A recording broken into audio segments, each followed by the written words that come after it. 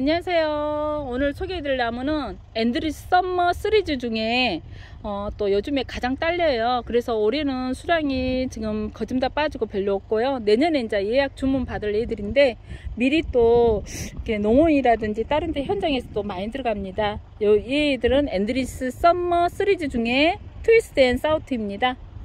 어, 환경에 강하고 추위에 강해서 내한성이 제일로 강한 것 같아요. 그래서 또 식재를 하시고 뭐 2년, 3년, 4년, 5년째 계속해서 들어가고 있습니다.